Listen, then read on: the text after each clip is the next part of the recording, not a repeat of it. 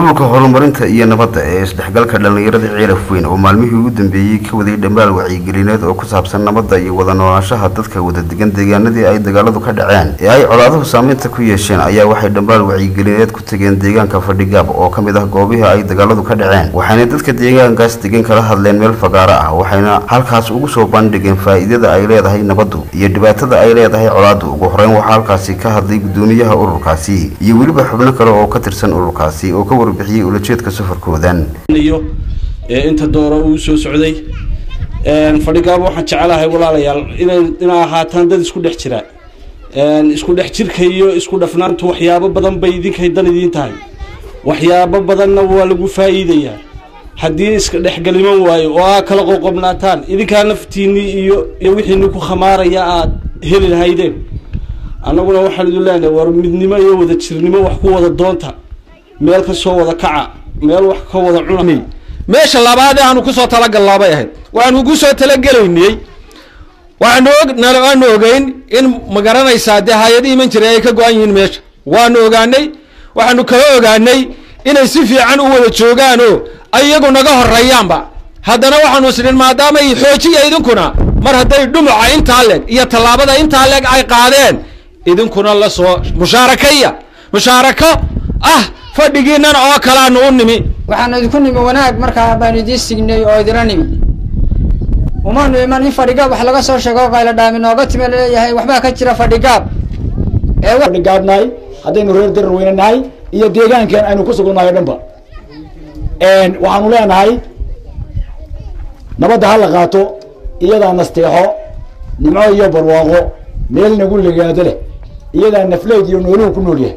Haddii nabad aynu weyno walaalayaal. Guradhisan mayno seexana mayno carruur wax inoo baran mayso xoolo dhaqan mayno. Maxaa imanaya? Saddex arrimood. Uga shaqayseen amnigana waxaanu leenahay boqol kiiba sagaashan iyo sagaal. Waanu idinku hambalinana reer fadhigaabo saa ula tartami lahaydeen deegaanada? Khayrkiina ahaydna mida waa inaad isku dub isku dubnaataan oo noqotaan uliga diirkeed markaasaa helaysaan wax kastoo idinka maqan ama wax kastoo idinka dhiman aad doonan kartaan iskuul bay u baahan tahay waxay u baahan tahay jeel bay u baahan tahay biyay u baahan tahay waxaasoo dhan dhalinyaradiina ayaa ka shaqayn kara.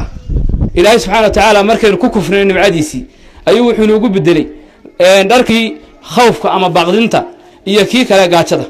Wa innagaa markaa hay'adaha barya neele iyo mihida kale oo waayeel iyo saraadiin iyo qabaallo iyo dhashiikayaal iyo biikaamyo lagu ilaalinayo bay ahaayeen laakiin maanta way ka duwan tahayo waa dhallinyaradii habar lamaan iyagu wada nabadii iyadu wada dhalinaysa markase colaadu jirto ee beledu jirto qofka beleda sida lama yidhaahdo ma mashruuc buu soo qaatay xaguu ka keenay. Laakiin qofka khayrka wadax laga yaabaa in shaydaanku soo gudubaliyo yidhaahdo muxuu soo qaatay xaguuse ka keenay. Waan ogahay anigu dhalinyaratan shidaalka maanta qaar bay jeebkooda ka bixinayeen. Maamulka dowladda hoose markuu ku bixiyo soddon soddon litir bu soo siiyayo ay gawaadhadii qaarkood yidhahdeen shidaalku waa maran iyo iiday taagantay saacaddii toban toban toban litir baa loogu soo kordhinayo loogu soo shubayo jeebkooda. Waan codkayga gaadhsiinaya haddaynu gacmaha isqabsano haddaynu ilaahi subxana wa tacaala u toobad keeno. Sidaa hore loo sheegay wax alla wax soo noqonayaa ma jiraan. Marka hore sharka xaggan baan idinka keeno anaga xukumaynin dee iminkana nabadgelyadii baan idiin sidnaa qaat. Howlanina garadag baan nahay. Maalinta hore maydaan odhan war anagu reer garadag baan nahay degmo gaaraan nahay idinku amaystida amaystaa iyo ceerfina ka kumida taakeyne dhinaciina ka qaadateene maantana reer ceerfin haddaan nahay waa idiin sidnaa nabadgelyada insha allahu tacaala ilaahi subxana wa tacaala wuu inoo dhamaynaya yaru waxaa yacnaa dib nooga yar dhacayoo cuqaashii unbaa naga ilbaxdo hargeysa un ku sii socda. Oo maxaan idhaahdaa meesha unbay ku sii socdaano hadba dubba u dhigayaan magihii. Waxaanu isweydiinay war wax ma kala qaadanaa reer fadhigaabo haddaynu nahay jibriil xasan iyo reerka la yidhaahdo axmed faarax. Waar magaheenni ma kala qaadanaa ayaanu isweydiinay.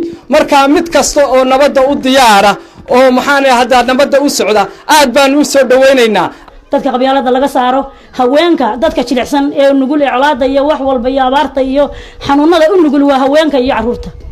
Waxa weeye dadka jilicsan ee nugul male m c h waxaasoo caruuraya waxaasoo haweena oo caafimaad haystaa ma jiraan. Waa inaynu inagu ka dhalinaa wanaagga iyo nasteexada ajarka ku jiro ilaahay loogu dhawaanayo shaydaanka laga fogaanayo waa inaynu gondaheena ka dhalinaa waa inaynu habareerteed booqanaa waa inaynu hooyadeen booqanaa waa inaynu inaatideen booqanaa gebagabadii waxaa halkaasi ka hadlay heer tuulaha fadhigaab oo ka warbixiyey xaaladda ay haatan ku sugan tahay tuulada fadhigaab soona dhoweeyey dhambaalkan wacyigelineed ee ku saabsan nabadda iyo wada noolaanshaha ee ay ururkaasi wadeen.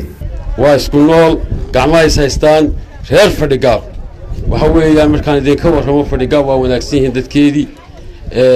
Waxa weeyaan wixii ilaahay dee marka horena de wax shayda wax shaydaan ahayd dagaalkaasi. Waxaa ilaahay waa inaka raray maanta baahiyo badan baa fadhigaab yaalla. Waxaa taalla tii caafimaadku way taallaa rug caafimaad ma laha. Magaaladuna waa magaalo weyn oo qaxoonti bay leedahay. Oo waxay leedahay dee laba kuro dadkii hore magaalada deganaa. Dadka wasiirka duudejinta ee u xil saaran baahiyaha iyo qaxoontiyada. Waxa weeyaan dadka halkaa jooga ee qaxoontiga ee halkaa jooga intii uu haystay siilaanyo waa la ururiyo dadki meeshaa la geeyey. Intii xukuumadda dambe qabsatay dadkii halkiisi baa lagu si kastaba ha ahaatee ururkan iskood isu xilqaamay ayaa sii wadi doonaa dadaalka ku saabsan wacyigelinta nabadda iyo wada noolaanshaha dadka ay colaaduhu saameeyeen waxayna maalmaha fooda inagu soo haya socdaal ku tegi doonaan deegaanada kale ee ay colaaduhu ka dhaceen. Axmed mursal askar star t v ceelaf